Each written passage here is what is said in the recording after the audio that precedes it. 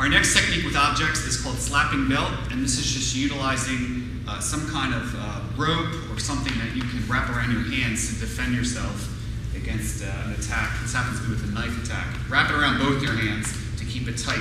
When the knife attack comes in, you're going to shuffle back slightly, turn a little bit to get out of the uh, direct line of the knife, and you are going to snap your belt across the top part of that hand to strike and block.